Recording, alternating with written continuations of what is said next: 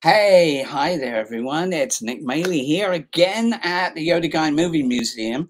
Uh, sorry, we started a little bit late today. Had a little technical problem, but uh, we're we're getting organized. Uh, you know, today I've got uh, a special friend with me. We got together uh, recently. Uh, well, it was this year at at a convention. Um, who this is my friend who has been. Um, involved in the Ninja Turtles since the very beginning of the movies. We're here to talk about Ninja Turtles, and today's guest was Raphael in the original uh, Ninja Turtle movie. Uh, he um, Yes, that's him. Look, he looks so handsome. I'm sure he'll tell you that too. Um, he was uh, a little younger when uh, when he started that, but he's still a good-looking guy, my friend Kenn Scott. And uh, hey, here he is. Well, hey Nick, it's really great to be here with you. It's good to see you through our virtual channels. It was great to spend time with you. I think you and I got together in Pensacola, Florida, early this year and uh, now it's great to visit with you now online. That's, where it was. Yes, absolutely. And, uh, you know, I've got a whole bunch of photos here that we're going to go through today. So it's not going to be all just two guys sitting here chatting. Um, but it's an interesting story because I was uh, I was looking at um, at your book. Here it is. Look at this. It's teenage from teenage ninja to mutant turtle. I mean, uh, it's an interesting story, and I love the way that you used the the you know Teenage Mutant Ninja Turtle title and twisted it around for your book. But we, we'll get back uh, more to your book a, a bit later. Um, it must have been quite a quite a challenge, I imagine, to have spent so much time um, in a big rubber suit. Yeah, it was. Um, you know, we were all sort of in shape and ready for anything when we went to make this movie. Um, I've been a martial artist my whole life, so I brought that level, a high level of athleticism, what we were doing. Um, there were several other martial artists, some dance, a dancer, an acrobat um, we were all like highly qualified to do this job. But once you put on that suit and you're wearing 60 or 65 pounds of foam latex and mechanics and other pieces, boy, it really limits what you can do in terms of your physicality.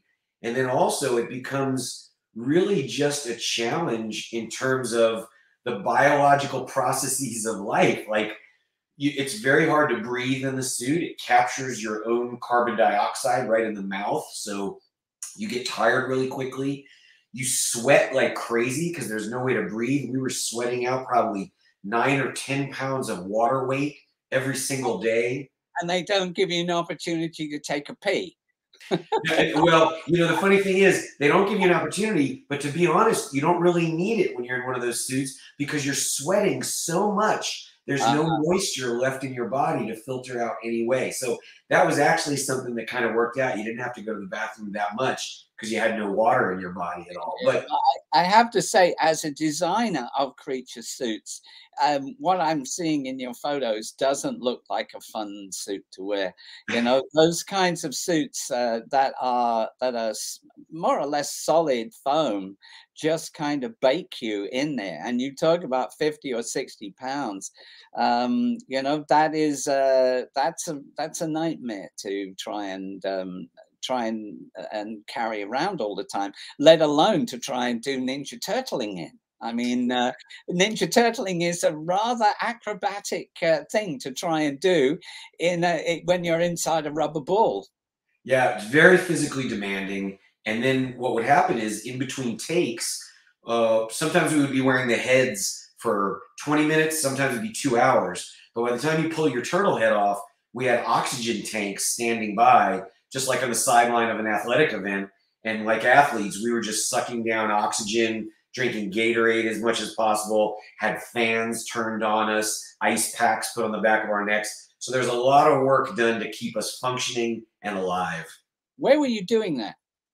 We shot the first two Ninja Turtle films in North Carolina uh, with just a couple of days in New York for some exterior stuff. Yeah, because that, that those suits were built uh, uh, through Henson, weren't they? Through the, I mean, I would say the Muppet Workshop. I always think of Henson and the Muppet Workshop as being one in the same because they were filming the Muppet Show in England, and so the the workshop was um, was where they were doing that stuff.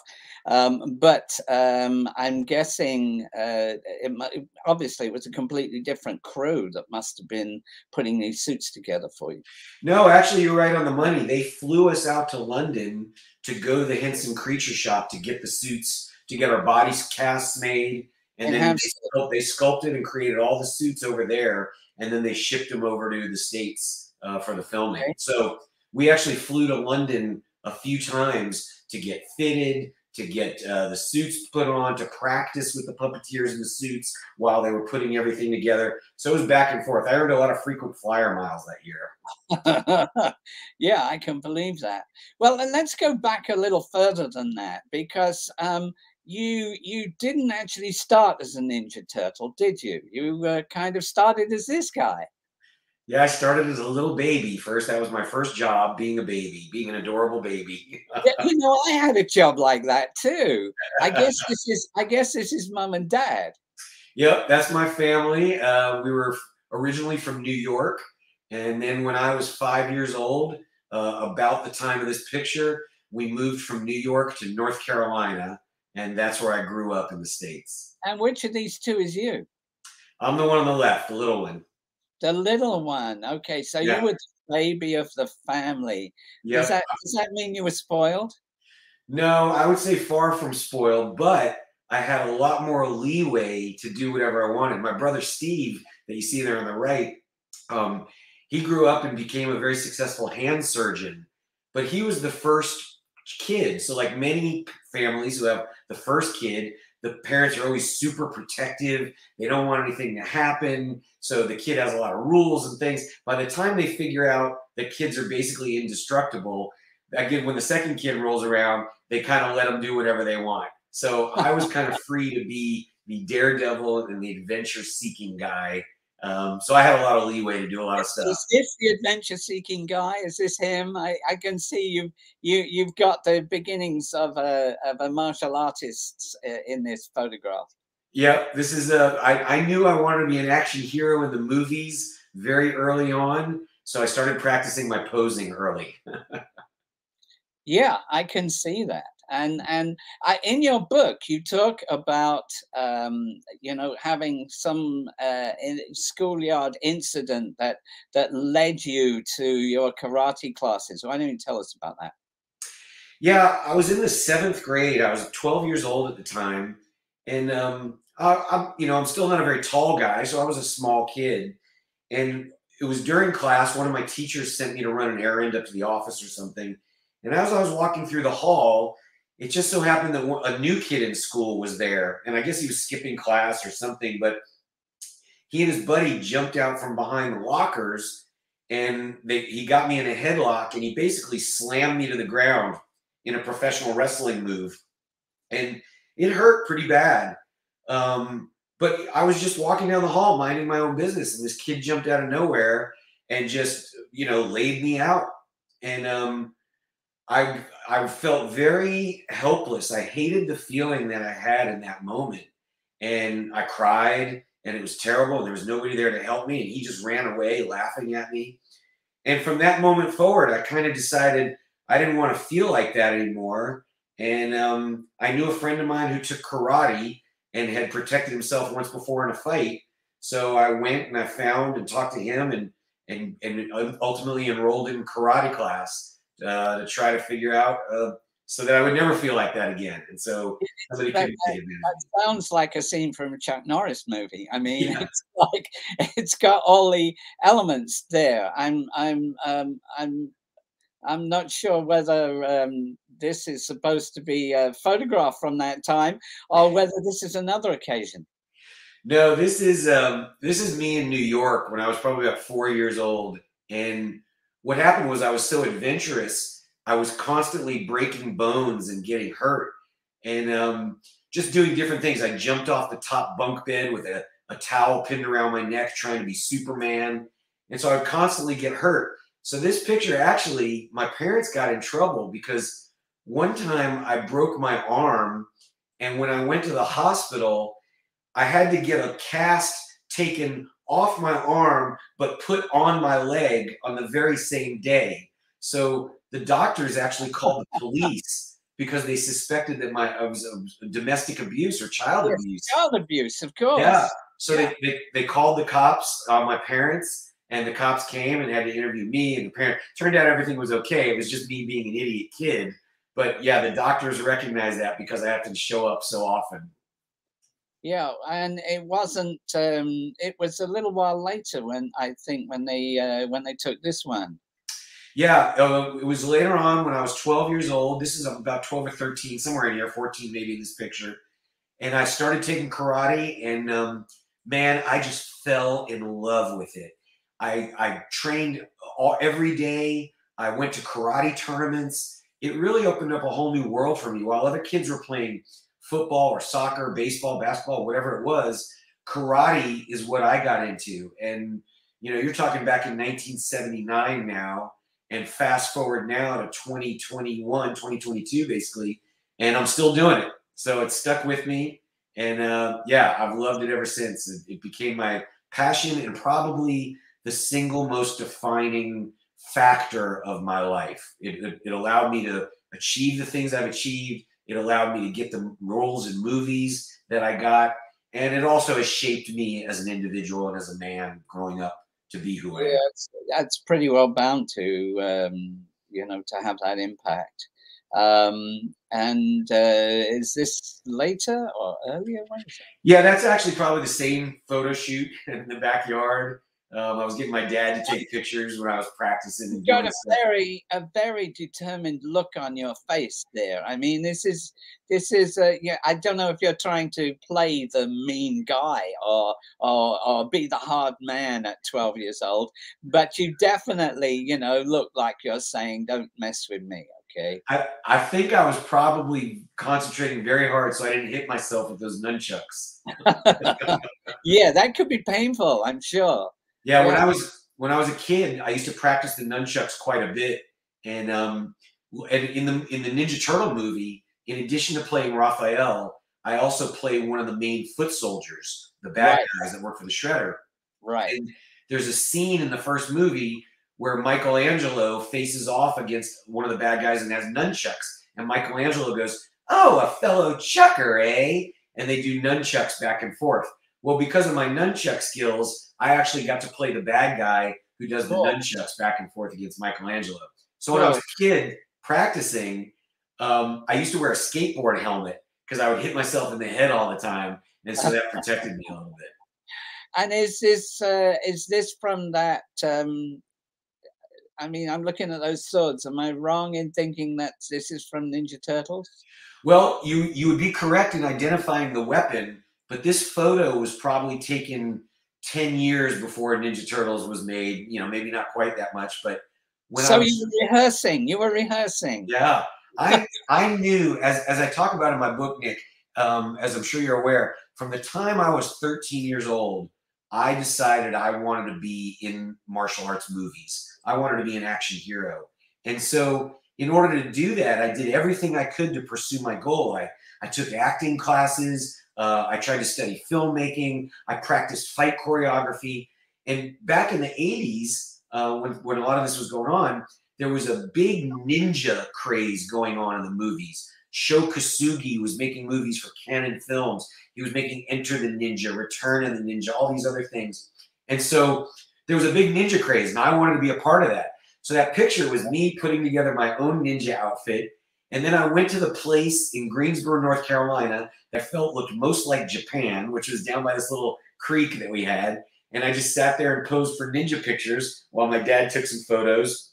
And I made that part of my uh, package to start sending out to producers or whoever I could to try yeah, to break into the movie. People, people today have no idea what uh, you know what it was like to not have this whole line of communication that we have now this this uh, you know this youtube come facebook where just about anything that you want to look up or or connect with is basically available there. You know in our day we we we had we had very limited means of tracking down who were the people to send your photographs to or or what it was that you needed to study. It wasn't at your fingertips the way it is today.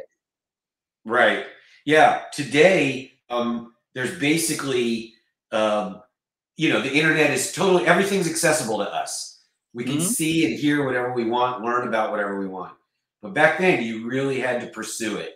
Had to go to the library had to watch public television, uh, do whatever you could to try to find the information and then get it out to other people. Yeah, right, exactly. So, uh, you know, uh, a lot of your um, career in movies seem to be related to uh, Pat Johnson, um, who, who I believe was um, you know, instructor with uh, Chuck Norris uh, original Tang Soo Do. Did I pronounce that right? Tang Soo Do school, um, and was training uh, Pat uh, Morita and Ralph uh, Macchio for the Karate Kid. Am I am I right with that, or am I getting that all wrong?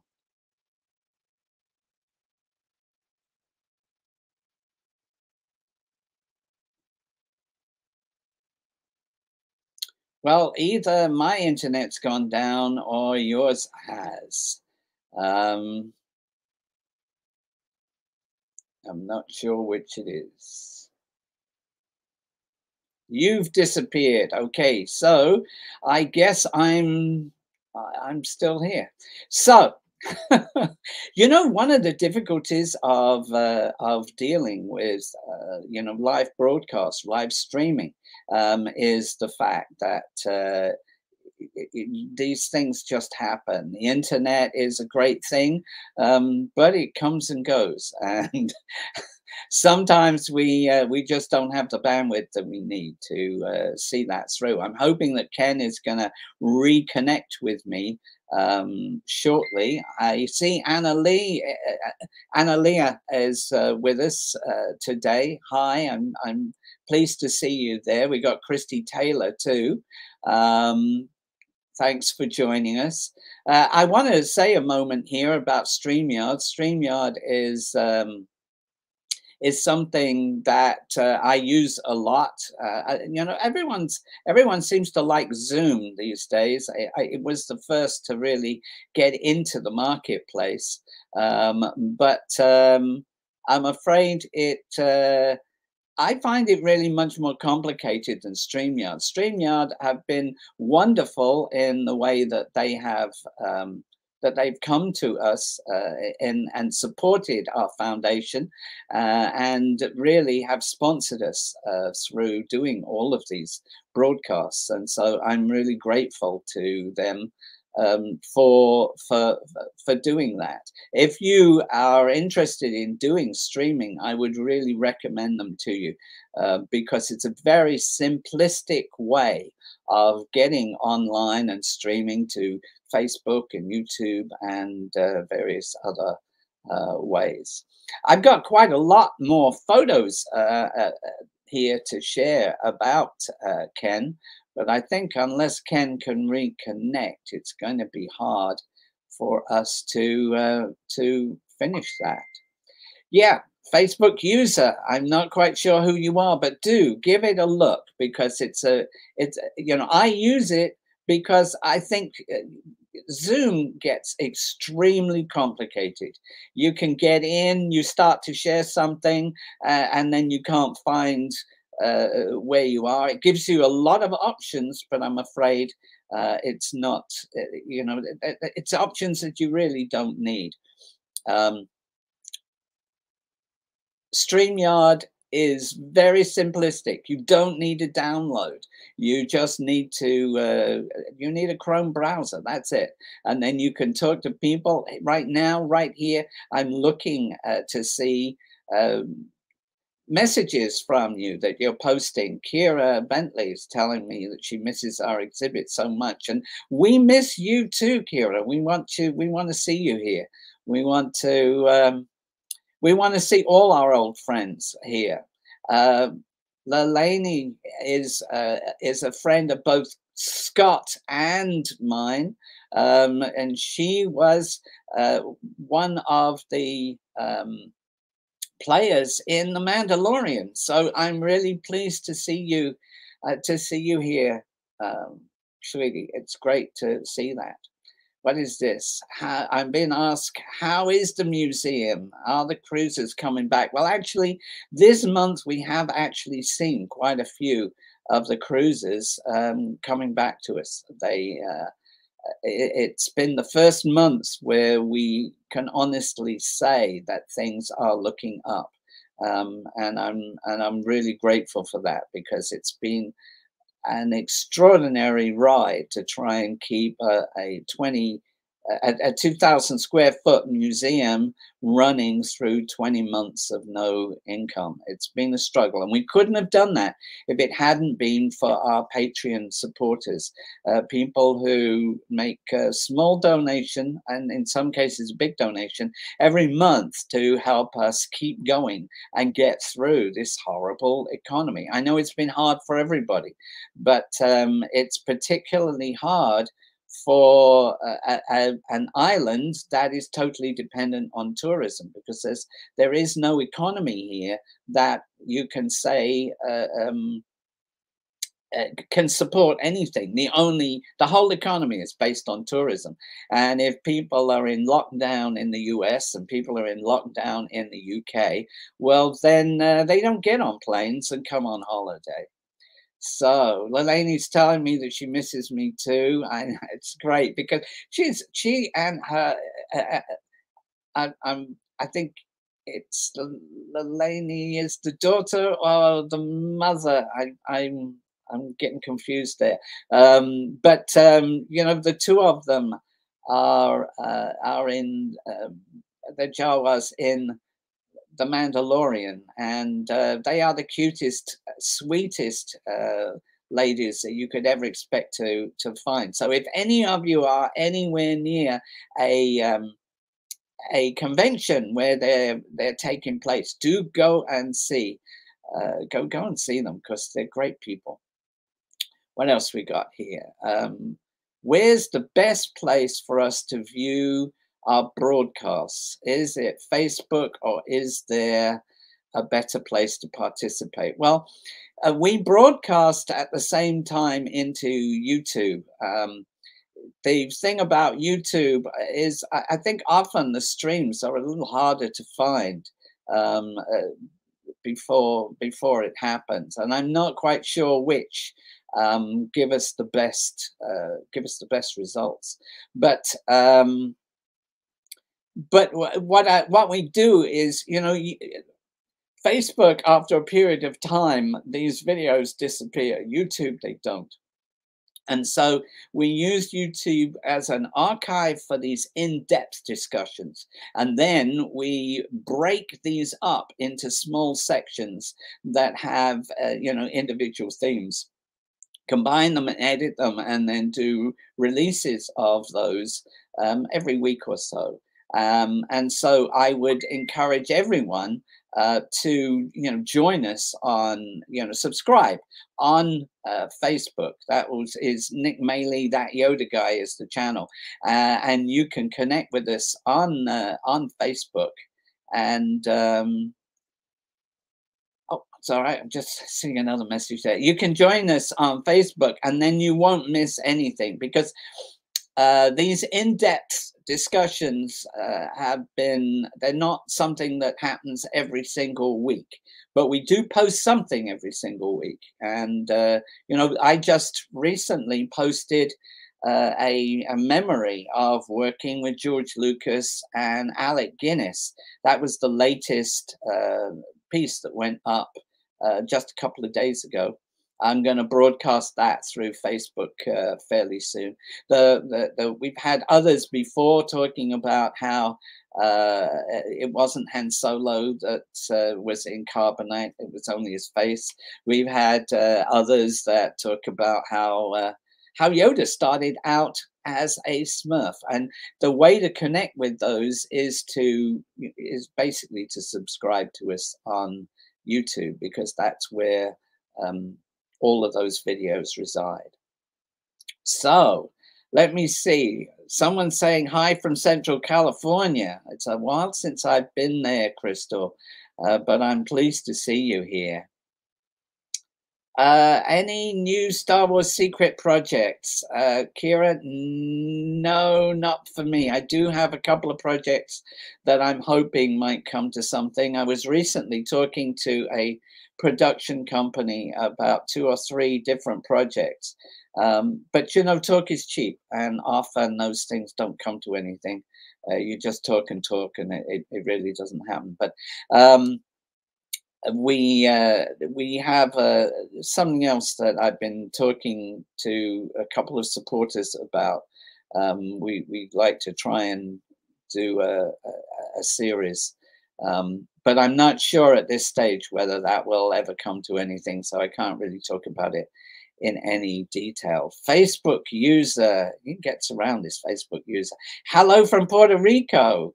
Say hi to Eric Santos. Is that Eric Santos? Good to see you. Huge hug for Nick. Eric Santos is a good friend and often works as a as an agent for me in Puerto Rico. It's through Eric that uh, I first went to Puerto Rico, that I did Puerto Rico Comic Con, and um, and and it, without that invitation, I would never have got together with the Puerto Rico Symphony Orchestra, which has been a great thrill for me over over the years. I I love those guys, and there's a video about that on uh, on on YouTube too. I think that was uh, that was a week ago. I did that um, with um, with the first Yoda puppet uh, that I built.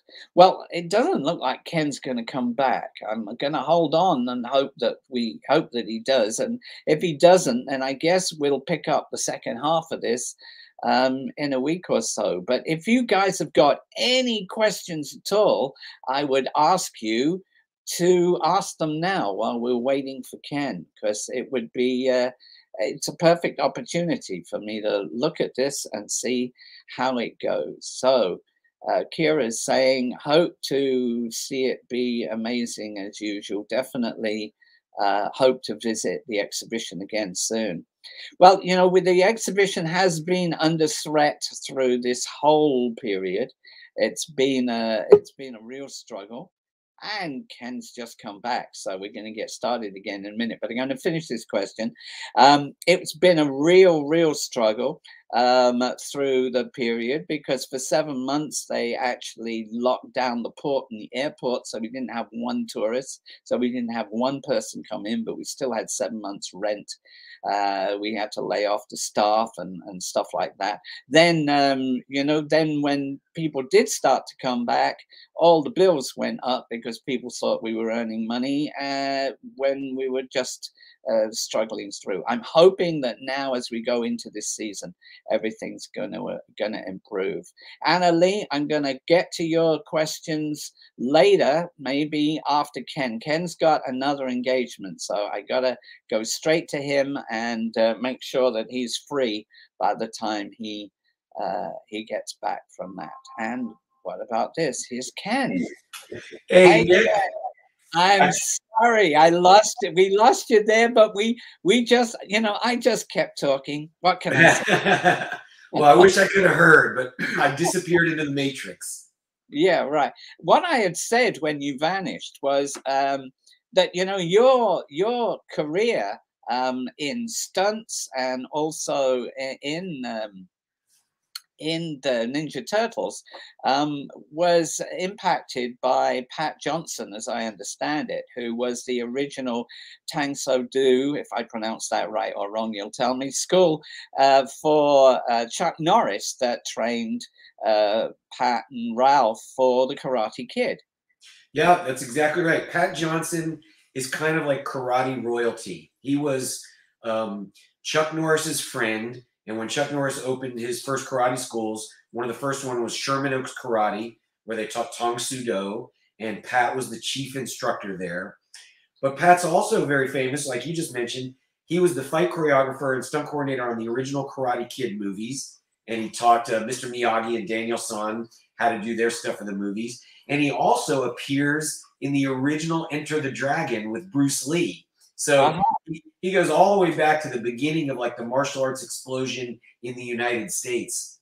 Right. So he was the stunt coordinator and fight choreographer on Ninja Turtles. And I had never met him previous to that, but I knew who he was based on me growing up in the martial arts and competing.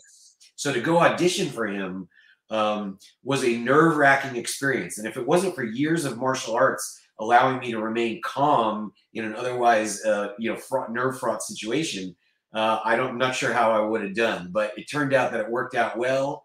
And Pat, um, not only to me, but Pat became very much of a father figure and a mentor to all the what he called the action team that was working under him. He yeah, really I, I, I, reading your book, I got the feeling that he was, uh, you know, the Mr. Moriarty to your Daniel. Yeah, yeah, he, he very much so. He was, uh, he was, he disciplined you. He told you what he wanted. He treated you like a dad with love, but also with a very firm hand if that's what was needed. I remember one of the first things I experienced with Pat was he was standing by the door of the soundstage and call time was eight o'clock. And as each person walked through the door, he would say, Good morning, Kenn. It is now 759. Good morning, Jim. It is now 759. And then somebody else walked in. He would say, Good morning. It is now 8 o'clock. Then somebody walked in and he said, Good morning, John. It is now 8.01. You are late. If you ever plan on being late again, do not come to work. And it was like, never, you weren't late. You did everything you were supposed to. You were on your spot and on your marks when you were supposed to be there. And you listened and you followed orders when you were working for Pat. It was a yeah. great experience. Uh, serious um, discipline there. I, yeah. I've got another photo here that um, I, am not quite sure what to make of it. I'm sure you're going Uh-oh. to explain it to me. Um, oh, you go. Okay. this photo is in, this photo is in my book because this photo uh, was during my college years, and what had happened was I went off to college because you know I, I wanted to pursue my acting career but speaking with my parents and everything, we all kind of felt, hey, it's very smart to go to school, get a degree, try to get some experience in school. Well, like so many people, once I got to school, I kind of got a little out of control. I started drinking a lot of beer, eating a lot of pizza, all this kind of stuff. And I went from being like a highly trained, in shape athlete to being this doughy, chubby, kind of cherubic kid you see in this photo right here. And so I put this in my book because this is when I saw this picture and looked in the mirror, I realized that I had fallen off my path and I needed to get back on the path and get my body fixed, get myself going again, and pursue my goals. Because otherwise, I was undermining my own, you know, uh, attempts to become successful. Yeah, that's um, that's a hard lesson to learn, though, isn't it? I mean, there's a point when when we're young, we, I, I, yeah, I, one of the things I said to someone recently is, you know, like when you're young, you can't wait to grow up and be an adult. And as soon as you are, you go off the rails and get kind of crazy. And right. a birthday, a birthday is a great, exciting thing because it's a day closer to being an adult. When you when you get uh, past 60, a birthday is a day closer to being dead. And it doesn't it doesn't have the same ring of joy, you know, that you have for some of those others. Sorry, I'm getting sidetracked there, but uh, but you you you fixed that. You got away from being that chubby uh, guy um, and turned into this guy. I did. I I knew what was up. I knew what I kind of had to do. I wasn't exactly sure how to go about doing it, but I um I put myself on a very calorie restricted diet. I started doing a lot of training and cardio and all that stuff and I ended up dropping 30 pounds over the course of one summer and uh, got myself back into shape to pursue my goals. So yeah, I got derailed. I I met a go- an ogre on my journeys, and I got sidetracked. And I finally I was able to defeat that and overcome it, and then you know turn into this lean, mean fighting machine. And eventually, you uh, graduated from college, and I have to say, you look really nice in satin. well, I appreciate that. I, I knew ultimately that I would like to be wearing flowing diaphanous clothes. So this was really my good start. Funny thing is, I'm drunk as hell in that picture right there. well, it, you do look like you're kind of high on something anyway. Yeah, yeah. I was drinking champagne uh, that day. That was my college graduation. And this was my parents meeting me back in my dorm room after the ceremony was over. But me and my buddies had all brought champagne in under our robes and uh, we're drinking it like crazy. So yeah, that was a that was a fun time. I graduated in college college in four years with a grade point average of two point three. Okay, yeah. But um, but you know, it's interesting you, what you're touching on there, and I'm I'm going off on a sidetrack slightly. Um, hopefully, you'll forgive me. Um, you know, uh, where you say, "Oh, you wanted to do your acting and you wanted to do other things," but your family said to you, "Oh, it's good to go to school and go and get a, a degree and other things." It's a classic thing that happens to people who have a vision for what it is they want to do and where it is that they want to go that family members and and and traditional wisdom will tell them that they should invest four years in getting a degree um, in preparation for failing. Right. And failure shouldn't really be an option. If you if you don't have a backup plan, you make sure that whatever happens, you succeed. A backup plan just actually encourages people to uh, uh, you know, to accept defeat and move on to uh, move on to something else. Uh, in my book, I say, you know, it's normal to take your standards from the people around you, but don't forget another word for normal is average, and uh, average people get killed in video games. If you're gonna if you're gonna um, accept that as being the standard that you want to work to, then you can't expect to live an exceptional life, which you and I both done. Yeah, and I very much enjoyed a lot of your philosophies in your book because it did ring true with a lot of things that I had felt sort of blazing my own trail if you if you if you think that way.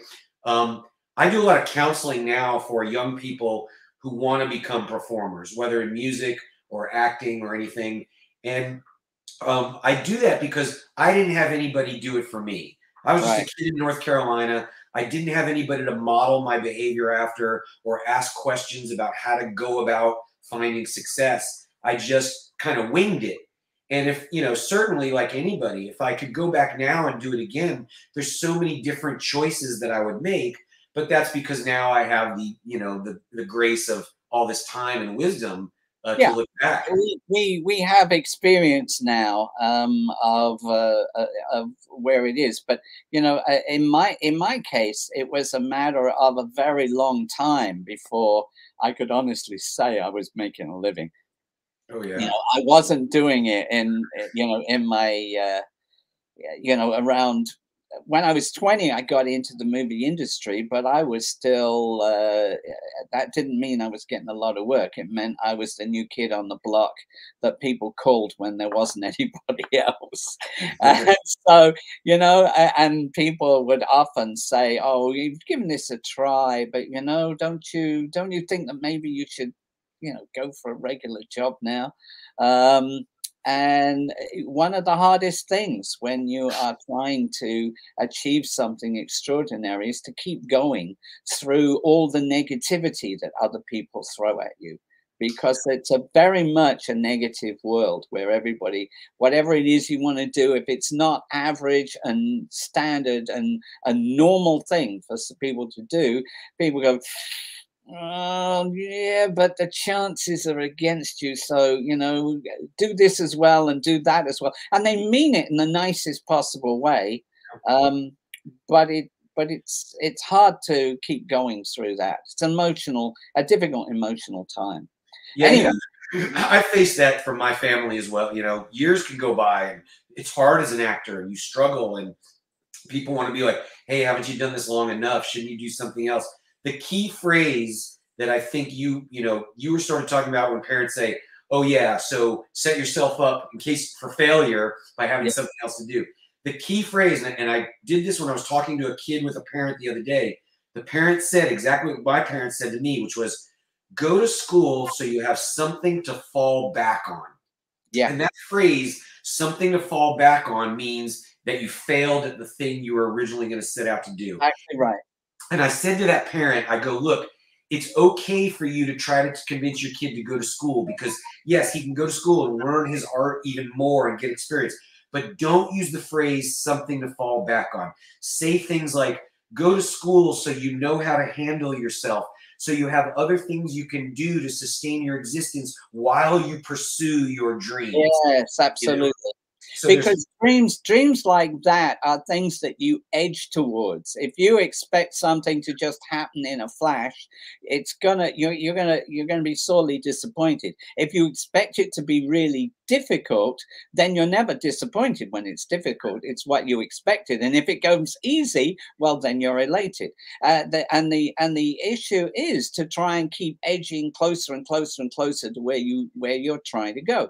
Uh, and and you're absolutely right about the way you phrase that is actually perfect. To say, you know, to give you more diversity while you are moving to to help support you while you are moving towards your dream, right? Yeah. Uh, too many people have their dreams squashed. Anyway, let's get back to these photos. Otherwise, we can we can talk about philosophy. I think you and me for uh, for you know for the for the rest of the hour. But anyway, let's let's just uh, jump through here because I think you're trying to be really cool in this photo. What's this was uh, I worked as an extra trying to break into the movies. There was a movie studio that they built in North Carolina, and it was down near the beach, which is about three and a half four hours from where I lived. So during my summers in between college classes, I would drive down to Wilmington, North Carolina.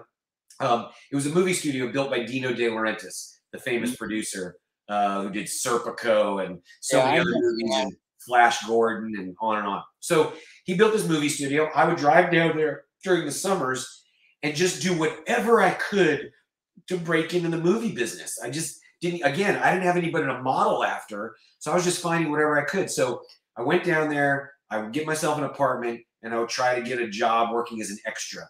So this is me actually being an extra in a police station on a movie called Collision Course, starring Jay Leno and Pat Morita, who went uh-huh. went on to make Karate Kid. So they made a buddy cop movie where Pat Morita was a cop from Japan and uh, Jay Leno was a cop from Chicago, and they had to team up uh, to get some mission accomplished. And I'm just in the background being a drug dealer in the police station. okay and that was actually how you how you worked your way into movies i think uh, wasn't yeah it? but by sort of uh you know getting to know the people that cast the extras um i eventually met some because i snuck onto the movie lot i was trying to figure out how to break into the movies and somehow inside this movie studio which was surrounded by a great big fence I just knew that there was some sort of chalice, there was some goblet waiting for me on the other side, the Holy Grail. I didn't know what it was, but I knew that everything I wanted was inside that movie studio. So I was trying to figure out how to get in there. And every time I worked as an extra, it was always somewhere else on location, but never in the studio. So finally, one day, I uh, I got myself a Domino's pizza delivery uniform and a couple of pizza boxes and I just drove up to the security gate. You could never get away with this now after 9 11, but I drove up to the security gate and I just said, Hey, I've got a pizza delivery for the movie production. I didn't even know they were making a movie. I just figured they were. So he, the guy just let me drive right onto the lot, told me where it was. So I snuck onto the lot dressed as a pizza delivery guy. I ended up meeting the people that were in charge of casting extras and stuff on that movie. Um, we got to talk about martial arts they told me about a martial arts film that was coming very soon. They couldn't tell me much about it. It was secret. They couldn't tell me the name. But if I wanted to audition, they were going to be hiring local people to basically be bad guys and get beat up. So I got very excited by this prospect. I didn't know what was up. And then a couple of months went by, and eventually I got a call, and they said, Hey, we've got that movie that we told you about. We'd love for you to come audition. It's called Teenage Mutant Ninja Turtles, and we need local martial artists to play all the bad ninjas to get beat up by the main turtles. Do you want to come okay. on? And so that's like, but that's that's like falling on your feet. I mean, really, for for that to be the first time you got into the studio uh, and to get that connection that made that happen, just helps people understand that dreams do actually sometimes come true. Uh, you need to, you know, you need to have faith and and and keep going at it. Um, That's the um, key, Nick. Like we, you know, you have to keep going at it. You have to keep trying things. If I didn't get that pizza delivery uniform and sneak onto the movie lot and all that, it, all these things never would have transpired. But I knew inevitably, it's like Napoleon Hill in Think and Grow Rich. He's, there's a secret to being successful. And that secret, he, never says what it is, but he gives you examples of people living it. And it's it's the feeling that your destiny is inevitable and you're just going to keep going after it to make all those things happen. You know, you'll you'll you won't take no for an answer. And that yes, was, that, that is that's absolutely true. You know, I talk about uh, in, in, the book. I talk about how the people who fail are the ones who give up. Uh, but what you're talking about, that sense of belief in yourself, um, is is is also key to it. I had a I had a girlfriend who who left me and went to the U.S. Uh, for three months and never came back again. And I wrote her a letter. I remember uh, I'd be about twenty at the time. I wrote her this letter telling her that she'd made a big mistake and that I was gonna I was gonna get to be famous making movies and I was going to uh, you know be well known. And then when I was about sixty, I'd be an artist and I, I, laid all of this stuff out and then i would write a book and do whatever. You know i wrote all of this. She probably read it and thought oh what a fool this boy is you know? But um but you know i'd actually done most of those things by the time i was 35 because i believed that i could do it. And right. and what was more to the point probably is that i knew that i didn't want to spend my life doing something else. Yeah yeah, you're we're driven by you know the carrot or the stick, right? I don't yes. want that, so I'm going to run away from it. I do want that, so I'm yes. going to run towards exactly. it. Yes, I, and I, I, I, say that I say to youngsters, you know, go in the general direction. Don't try to lock yourself into I'm going to be this absolute specific thing, but say, look, I you know I want to be in entertainment. Move towards entertainment and take them, make the most of the opportunities that come to you, because like you starting out as an extra being an extra led you to being a stunt guy and being a stunt guy led you to being a being a you know a, a key performer. Uh, and so you know those you can't you can't predict that. You can't predict exactly what's going to happen. You have to just network network network and make the most of of whatever comes your way. Yeah i you know the thing the issue that I see with a lot of young artists, whether in front of the camera, behind the camera, music, whatever it is, is a lot of them will have the belief they'll they'll express that they think they're magnificent and they can do all this, but they don't take the steps to move forward. They don't do the things. You know, you showed a picture of me dressed like a ninja before on a creek. I I dressed like that ninja and posed like that so that I could put together packages to send to movie producers so they could see what I, you know, I didn't just wait for things to happen. Like I made it happen. I, I got the pizza delivery uniform. I put the pictures together. When I got to Hollywood, I even, because it was so hard to get a break, I even invented my own management company. And I printed up letterhead and business cards and I made up a fake manager and I used that to send out submissions and I got jobs through it. So yeah. it was all about finding ways to do things to move forward, not just believing and waiting. You know? Yeah. Well, you, you just say you read my book, and and in there I say build on what you have that other people don't have, and that's exactly what you did you built upon uh, uh, built upon the, the karate that you'd learned as a kid, like I built on the makeup that I'd learned when I was a kid, and uh, and used that to separate yourself from the crowd of all the other extras that were standing there that didn't know how to do those martial arts. Anyway, I we've got to move on because I know you've got another commitment. So let me uh, jump to the next photo. That is Pat Johnson in the center in the blue shirt. and he's that's me next to him on his left. What's our right? Yeah, it's showing off your muscles. Obviously, that's a theme for me. No shirts. And then what you're seeing there is you're seeing all the different foot soldiers from the very first Ninja Turtle movie. That's okay. the, that's the action team. There's a couple other various people in there. The the guy in the white T-shirt kneeling down the front. He was a martial arts uh, consultant from Hong Kong. Um, but all the other guys are like local United States martial artists that flew down and worked for Pat, and that was his action team. A lot of good, a lot of good friends on there. I, I guess you had to work out together. Yeah, you know, you're you're aware, Nick. There's a lot of downtime on a movie set. Absolutely. Especially, especially when you're an on-camera performer. People in the crew are working constantly, but when you're an on-camera performer, it's hurry up and wait. So Pat Johnson, who's buff as hell behind me, you can see there, he used to work out every day. So all of us martial artists, the guy sitting in the chair with the blonde hair, he was the world middleweight kickboxing champion. What a great guy. So we all we all used to just train during the days and work out and challenge each other and do what we could to stay in shape and, and keep ourselves moving. Oh, this is this is um, on on the sound stage. We used to. Uh, this is where we would stay during the day. We we called it our our headquarters. But as the stunt team, we had a lot of equipment in there we could practice on. So this is actually a picture of me doing some high fall practice. I'm jumping off that paint scaffold to the left and landing in those foam pads uh, just laying on the ground there. So yeah, I was going to say it looked, uh, it certainly looked like you were doing a fall, although those pads don't look. Um, I mean, that's quite a quite a high fall that you're doing there. Often stunt guys will specialize in doing landings or doing tall falls. So the guys that are doing the, I'm saying this not for you Kenn, I'm saying this for the people that are watching. Um, someone might do, might specialize in jumping off of seven story buildings into huge uh, uh, you know piles of cardboard boxes.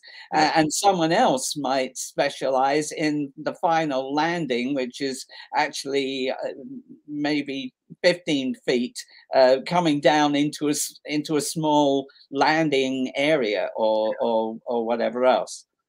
Yeah. So we were practicing because there are just a few small, you know, no matter how low they are, they're all called high falls, right? That's in the stunt world, you always call it a high fall, even if it's just 10 feet or it's 100 feet, it's still a high fall. So we had some high falls to do in the movie. There's scenes where foot soldiers are falling off of fire escapes and falling through skylights and things like that. And I got to do some of that stuff. So um, I was just so thrilled to do everything. I love roller coasters and bungee jumping and skydiving and scuba diving and motorcycles and all that. So to be able to jump off of something and land in like the, even these sketchy pads was just a thrill. So just in our off time, we used to practice that stuff, and it was like kids in a candy store. Yeah, it's like you, you know, you were you were breaking your leg when you were a kid, so you know you just kept on doing the same thing. It's right. like it's like you you you you just made sure you never had to grow up, really. Right. Um, but I guess there was also um, some downtime Yep. And again, when there was downtime, this is actually, uh, I took this picture because those guys are playing a game called Choi Dai, which is a Chinese poker game that the stunt guys from Hong Kong taught us. And once we started playing, it was like uh, it was like crack. You couldn't stop playing this game. It was so much fun. So to this day, 30 years later, I still play that game with my brother and my friends and my family. So that was Choi Dai.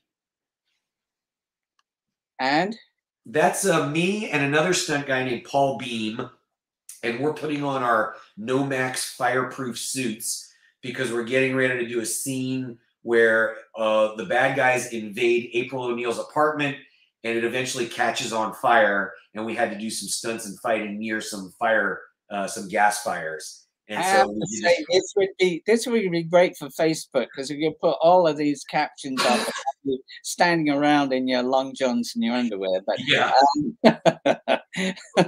well, boy, uh, yeah, it's extraordinary. Fire is one of those things that I think is always uh, an extraordinary thing for for stunt guys. I've done movies where literally people were, you know, were set fire to and ran around on fire. That always struck me as a really a really scary um, stunt to have to do.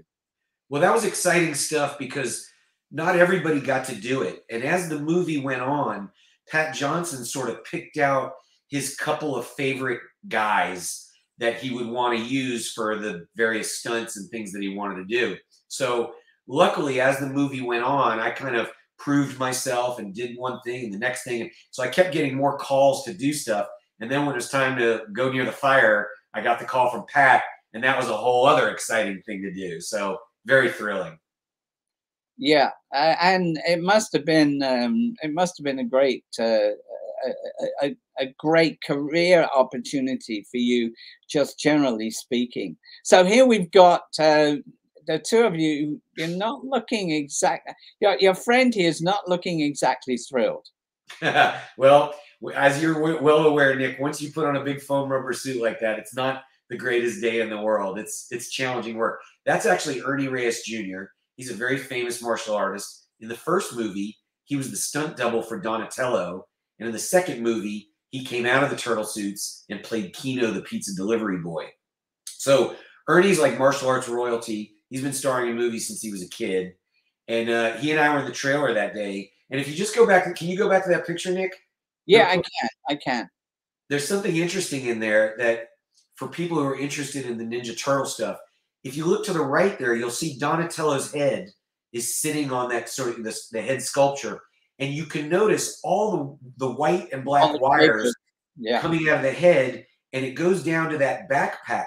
That computer backpack is actually what was underneath our turtle shells and how the uh, heads received the remote control and then controlled all the servos in the head. So you're actually seeing the full mechanics and computer of the turtle head there. Yeah, that's actually those cables really heavy. Um, those yeah. look like bicycle cables, you know, what we call Bowden cables. And we did start out by using those back in the 70s. Um, but honestly, they, um, you know, that they, they they don't compress because they've got metal interiors inside the plastic.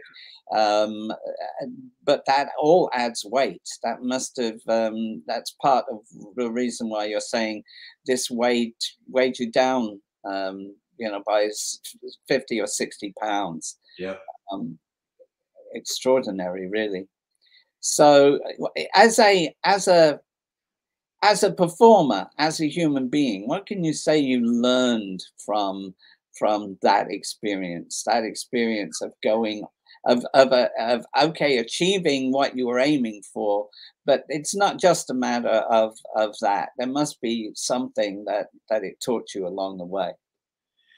Well, that's a really big question because certainly it taught me a lot of things, and it would be hard to isolate you know, and it's my brain is just running amok because I learned so many things. I learned so much about the business. I learned so much about how to carry yourself.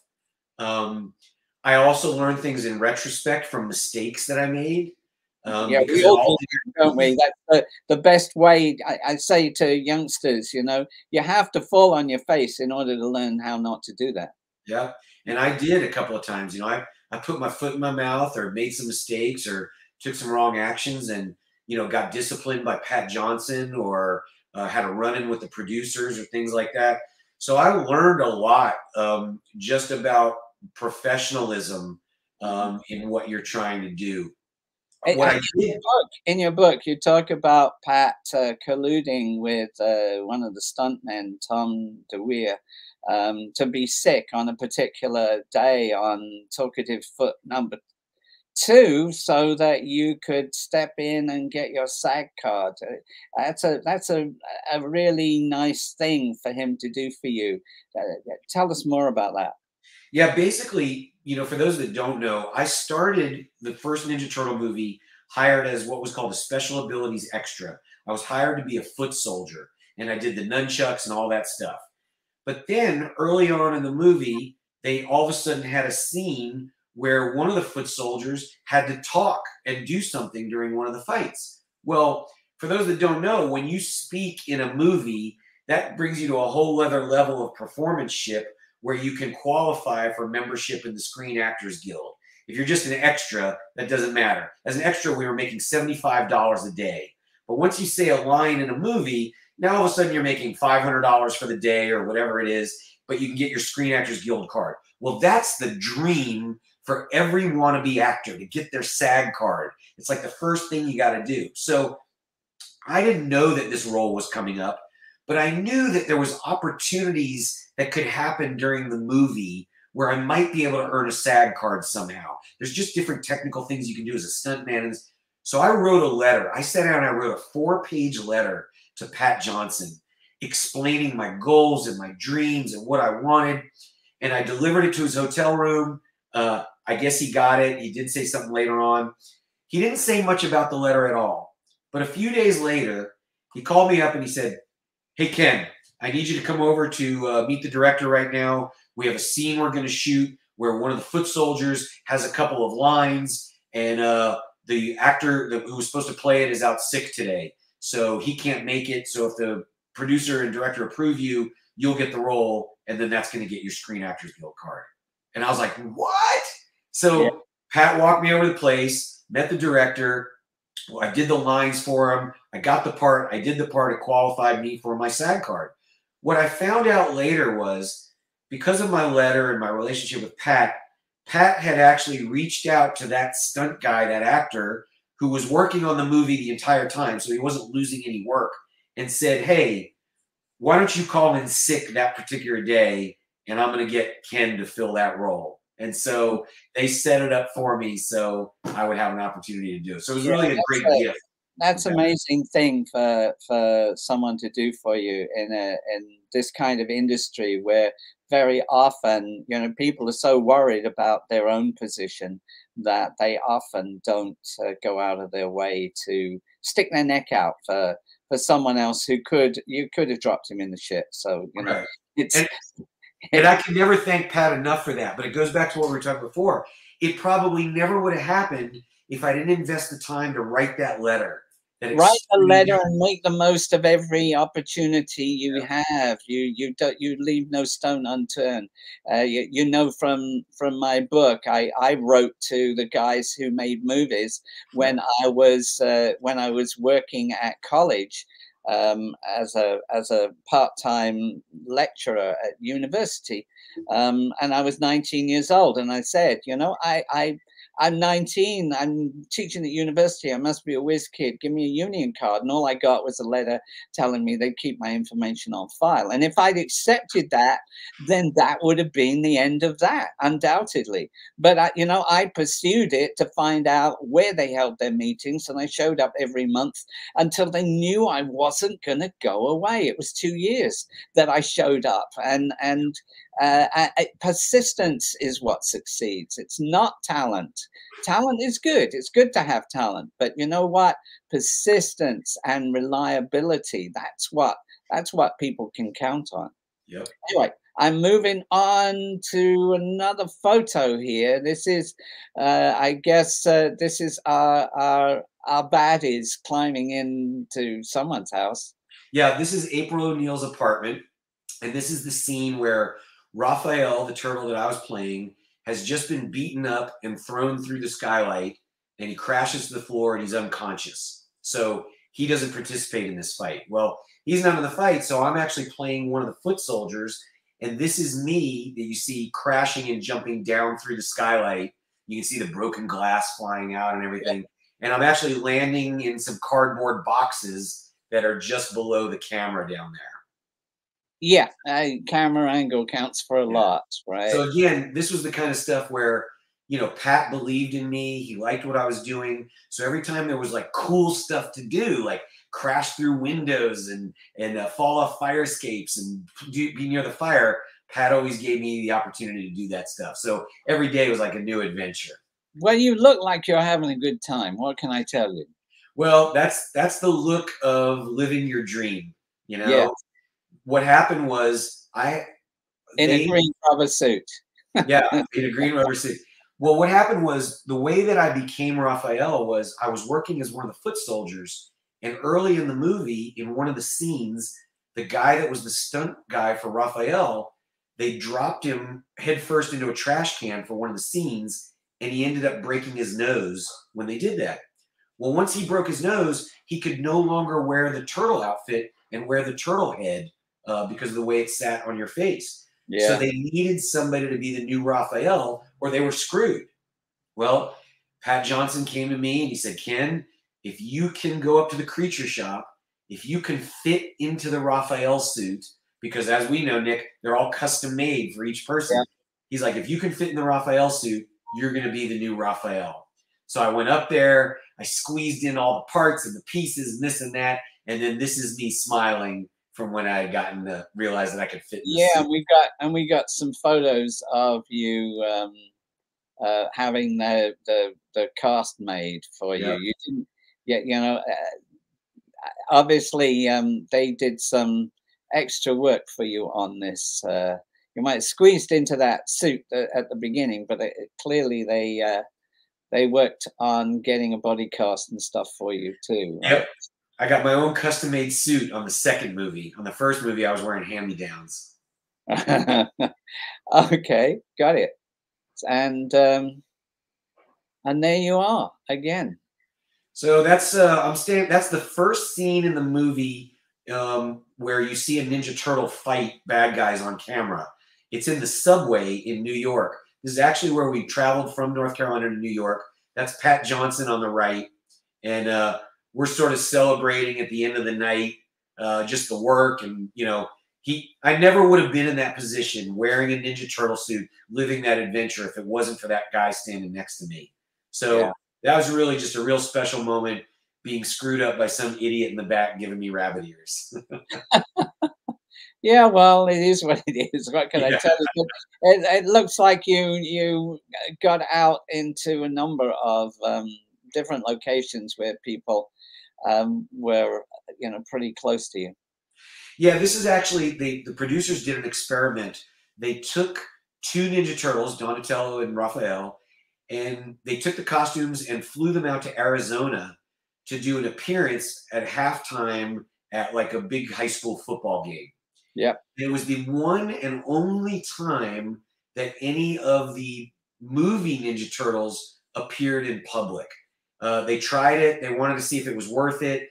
It just took so many people to bring the costume from London and then dress them in it that they never did it again. But this was the one time we actually appeared out in public with with people at a, at a football game. That's me and Ernie Reyes Jr. Right. And uh, that's Ric Meyers. Ric Meyers is the world's foremost authority on martial arts movies. Um, he's also an author. He's written many books, and he consults with a lot of Hollywood studios on martial arts film. He was a big consultant on Kung Fu Panda. Well, anyway, uh, Ric was the he wrote the very first magazine article that I was ever in after the first Ninja Turtle movie. He wrote an article for Inside Kung Fu magazine, and um, from that point forward, 30 years later, we're still friends. And Ric was actually sort of my teacher and my mentor to help me in writing my book. He explained to me, yeah, he's he's a published author, and originally I went to Ric and I said, um, "Hey, Ric, you know, let's team up. Let me tell you all my Ninja Turtle stories. You write the book, and we'll just split the book and get it out to the world." And he said, "Oh, Kenn, that sounds like a great idea, but I'm not going to do it." He goes, "He goes, I'm writing a book for somebody else and somebody else." He goes, "Here's what you need to do. You know, write down at least fifty thousand words and blah blah blah." And he just sort of uh, taught me what I needed to do because I enjoy writing anyway. It's kind of what I do for a living professionally in mm. marketing and advertising.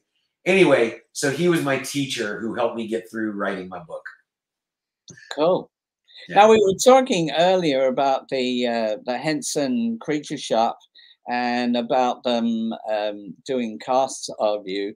You know, one of the things that, that we used to specialize in obviously for for making dummies and prosthetics and and other things was uh, doing life casts.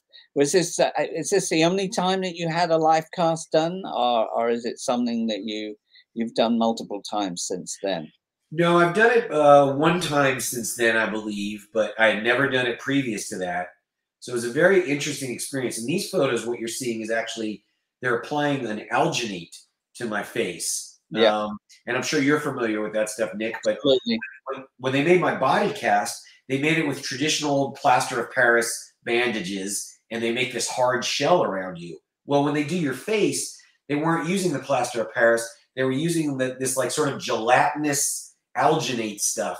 Yeah. It was very cold, and they put it on your face. And as you can see by the, you know the photos, and I think even the next one, they got me cocooned up, and I had to stay like that for I think it was 15 minutes. Yeah, what they've done, what they've done here is they've put a backing on. They've used plaster bandage to put a backing on to keep the alginate in shape when they when they take it off because it's flexible. Alginate is actually the material that the dentists use when they take a cast of your teeth, Okay. and so we would use that. And the reason that it's cold is that they the, the colder it is, the slower it is to go off, and so they've put uh, iced water in there to try and give them as much time as possible to get it on your face in in uh, in one go.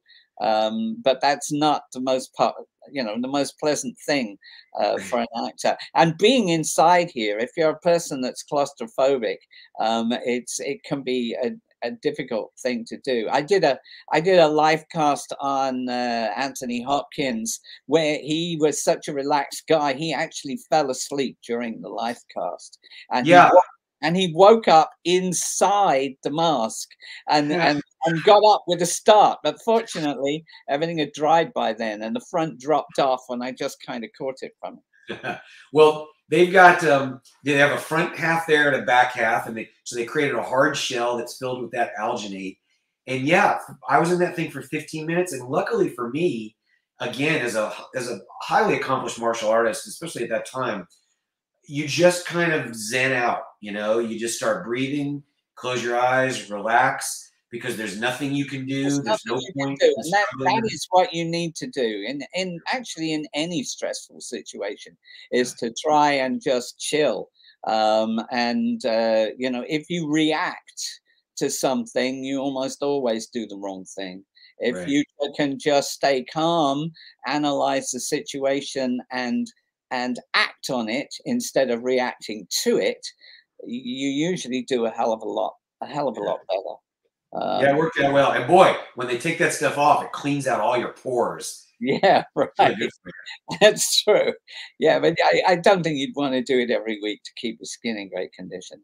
Um, you know, I'm not quite sure what is this. Uh, is this an underskull that they've got?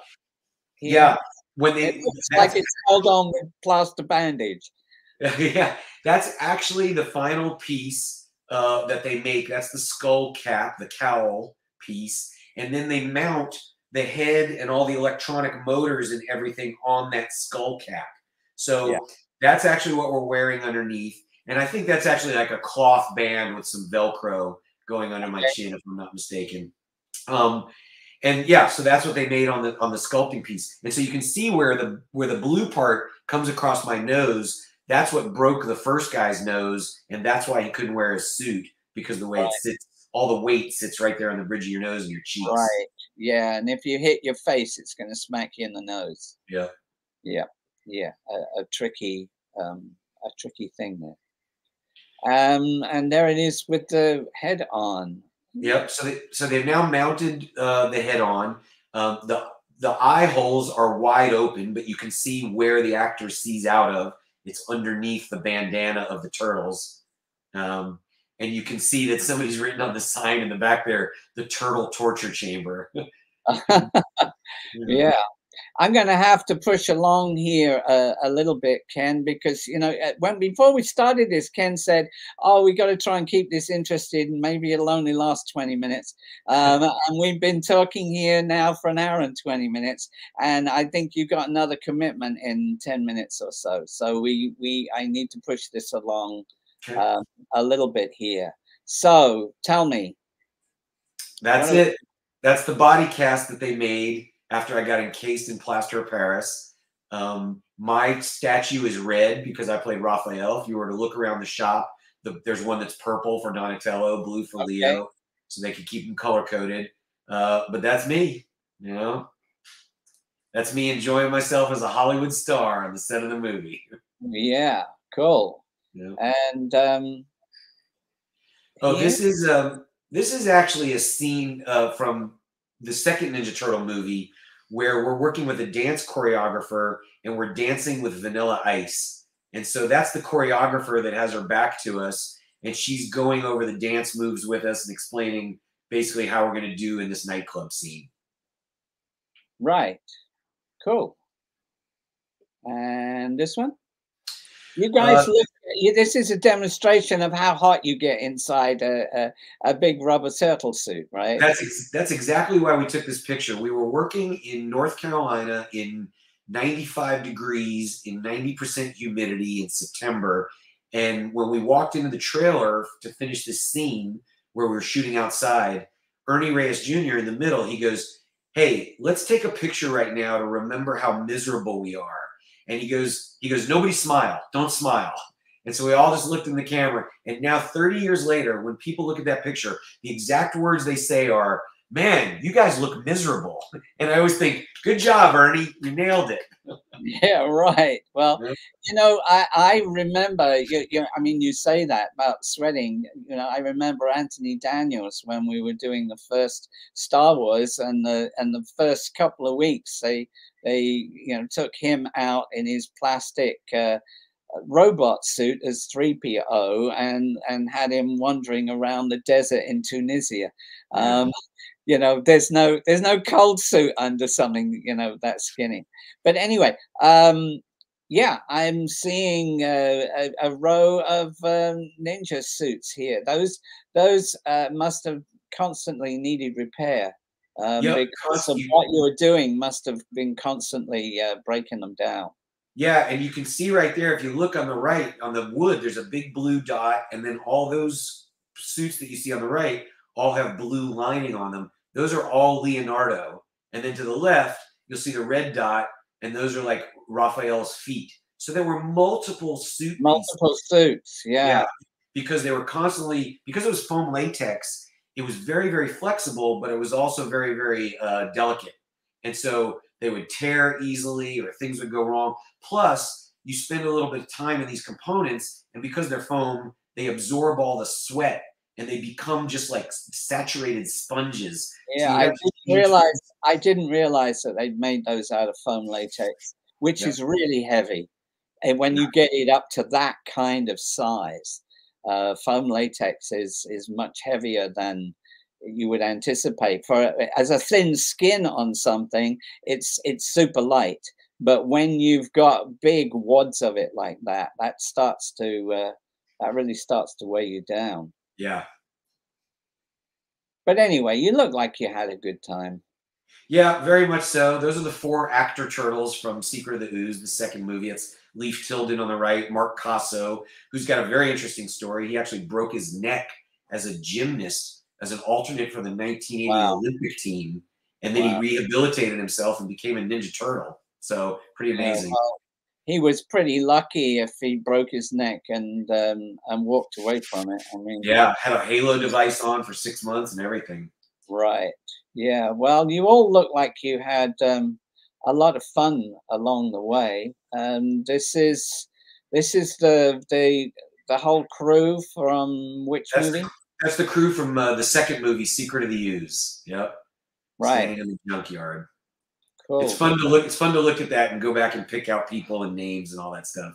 Yeah, I, I have one of these. I have I have a few of these from from Hunchback of Notre Dame and Superman and and other stuff. It really, you know, 40 years later, it really makes you stop and uh, and think about those times. What's really interesting, oh, can you go back a second, Nick, real quick? Yeah, sure, sure, sure, I can. What's interesting is for me, sometimes if I go through this picture, to look at people and figure out like where they are now, because this is 30 years ago. And so a lot of people were at the beginning of their career. Some might have even been at the end of their career. Like we had a very famous production designer and this is one of the Latin named Roy Forge Smith. You may be familiar with that name, but he did these movies. He and this was some of his last movies. But in the very, very front, the guy in the very, very bottom in the center, who's got a mustache on and some curly hair, um, he basically, I just saw his name. He was a stunt guy on the movie. What? No, go down to the right. But yeah, that guy right there. He was a stunt guy on that movie. Well, I just saw his name on the brand new Marvel Shang-Chi and Legends of the Ten Ring big Marvel movie, and he's the stunt coordinator for that whole movie now. So yeah. it's like, wow, look at that. That guy moved up from one job and now he's doing the big movies. So pretty neat to see that. Cool. I'm going to move on. I'm trying to I'm trying to wrap this up quickly because I know that you've got other things that you've got to do. Um, no problem. Was, a couple minutes. Is this, the, is this the Barbara Walters um, interview that you did? Yeah, that's Barbara Walters. She wanted to interview the turtles themselves, not the actors, but the actual turtles for her Academy Awards special. So she came after the second movie was done, spent a day with us. She was a wonderful, wonderful human being. I loved being around Barbara Walters. Didn't know didn't know her before then, but she was very, very sweet. And then years later, she would say in the press that interviewing the turtles on her special was the dumbest thing she'd ever done. yeah, well, I, I mean, I imagine it was pretty hard for you to deliver a lot of dialogue in that, wasn't it? Yeah, well, it's actually the puppeteers who are delivering the dialogue. The guys in the suits, like me, we're doing the complementary body moves and right. head movements. So we kind of have to be in sync with our puppeteers. So we're listening to them through headphones as they speak, and we're trying to anticipate what they're doing to react. Was the puppeteer moving the jaw, or was that mechanical rather than off of your jaw?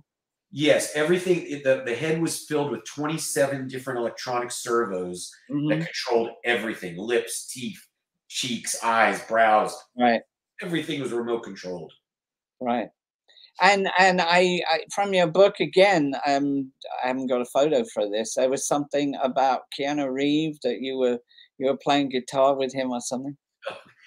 Keanu Reeves just happened to be on the same movie lot in North Carolina when we were shooting the movie and um, I was walking around the lot one day and I passed, this is before he was a big, big star. Excuse me. I passed his trailer and the door was open. I didn't know it was his trailer. And I heard a bass guitar playing. And I've been playing music my whole life. And I just kind of stuck my head in to see who's playing bass guitar. And there's Keanu Reeves uh, from Big Bill and Ted's Excellent Adventure. And he's just sitting on the couch and he's playing bass. And he's not playing anything. He's just randomly hitting stuff. And uh, I was like, oh, hey, what's going on? And he's like, oh, hey, I, I just got this, blah, blah, blah. I'm learning how to play it. I was like, well, I know how to play a song. Uh, I can play Johnny B. Goode on the bass. He goes, oh, will you show me?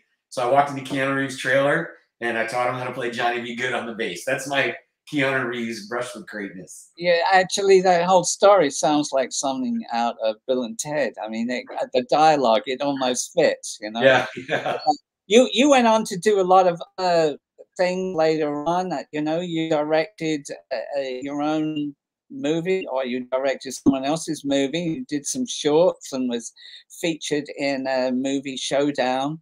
Um, I don't know how much time you've got, but you know, tell us what you can about that. It, you know, it's it, this all part of sense of evolution. When I said, you know you network with people and you go wherever you go where where life um, leads you rather than trying to set a course from a hundred miles away that says i'm absolutely gonna you know go in one place. Tell me about it. Well you know i kept blasting away. Every from ninja turtles all my dreams were coming true. Everything was working out. My first job out of college was being a ninja in the movies. So i was achieving my goals. So I was just ready to keep doing everything the same way and moving forward. So as soon as Ninja Turtles was done, I bought myself a first class plane ticket to Los Angeles. I moved out to LA and uh, I just started my pursuing my dreams there. And you know, the first thing I wanted to do was be an action hero that wasn't wearing a green rubber suit. So I uh, I did the same thing. I, I mentioned it earlier. I I created my own fake management company. I created my own fake agent. Um, I put together a phone and and newsletters and uh, uh, business cards. I put together a videotape of me doing karate in the park, and I sent it out to all these companies that make karate movies. And lo and behold, uh, Imperial Entertainment, who made Jean Claude Van Damme movies. They reached out to me through my fake agency company, and um, I ended up signing a deal with them and starring in a movie called Showdown, uh, which was a big international success. Cool. Uh, the cult editions have just recently come out here in America, 20, 30 years later.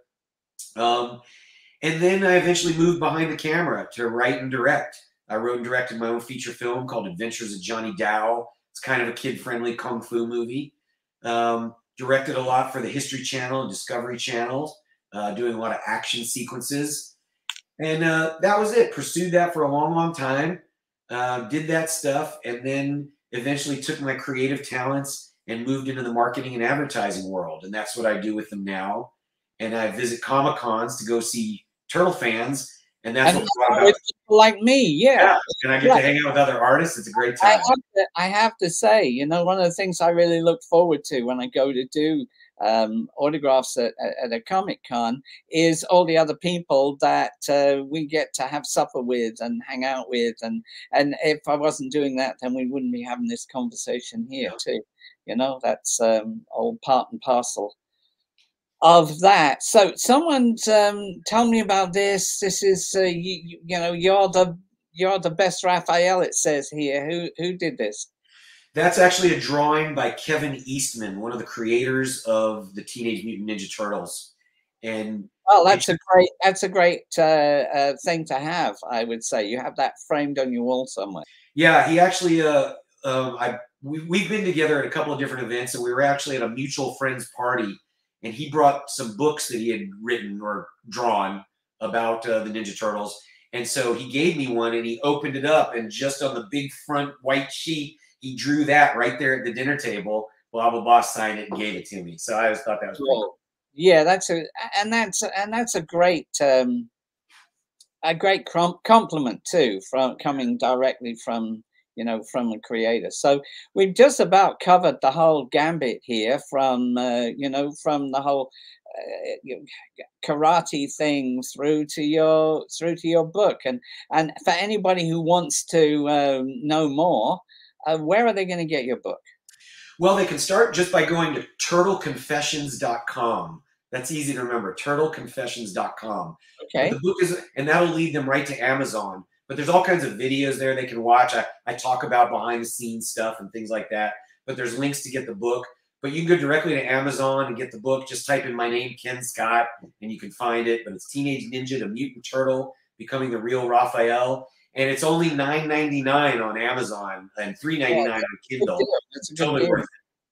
Yeah, absolutely. And having uh, having gone through that, I can recommend it to anyone who's interested in in you know what it is that happens in the making of these movies because there's a lot of behind the scene uh, stories and information in there too. So i really appreciate that nick. Thanks very much. It's been great spending this time with you.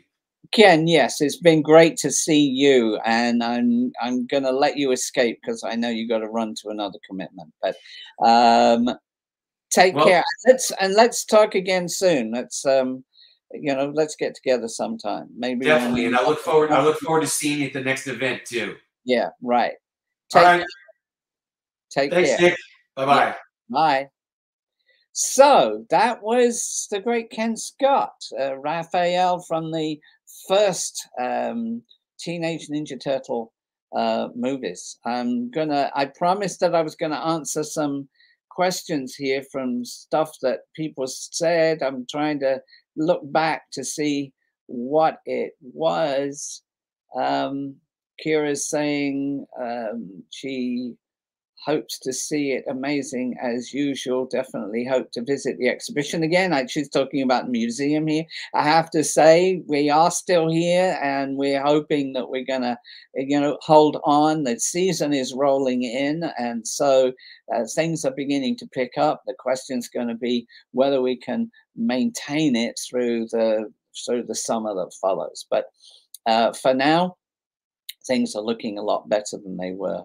Um, uh, Analia was saying she hoped that next year she would study in the Stan Winston School to improve her props. Now, I'm going to mention this because I'm a big fan of the Stan Winston School of Character Arts, uh, basically because for uh, uh about $350, you can have a, a full year of their uh, of their videos that will tell you um, just about how to do just about everything um, uh, from prosthetics, from sculpting, from puppet building, from prop making. There are so many skills that they uh, that they give you, and they're all professionals like myself who who actually work in movies because they wouldn't have the opportunity to teach at a school. They wouldn't have the time to do it, but they can come in and uh, on a weekend and film uh, you know, a, a, particular them doing a particular job. So you're being taught by experts at absolute discount prices. And if any of you decide to do that, please support our foundation by using the subscription code Yoda Guy 20. So, uh, having give that little that little plug for my friends there, um, uh, yes, someone wanted Ethan wanted uh, Kenn to do the the the Raphael voice. Unfortunately, he's already gone, so we don't have that opportunity. And as he said, um, the voices were being uh, piped from the puppeteers. Um, in any case, so I think I'm just looking. I don't know that there are any. All suits are extremely hot. I'm Chewy cosplayer. Yep yeah, that's about it, guys. So I'm not. I'm going to wrap it up now. I'm going to thank you for watching. Um, share this with your friends uh, if you would like to. And as I said, subscribe to our YouTube channel. Our YouTube channel is Nick Maley, that Yoda guy. So it's what you see on the screen here right now that says that Yoda guy, Nick Maley. Well, if you put that in, it'll come up. If you put Nick Maley, that Yoda guy, it'll come up. If you put Nick Maley, it'll come up. Just subscribe because we're putting out a lot of behind the scenes information that's never really been told before. Thanks for watching. Uh, I'm going to sign off here. This is Nick Maley saying, May the force be with you today, tomorrow, and for the rest of your life. I'll see you next time. Take care.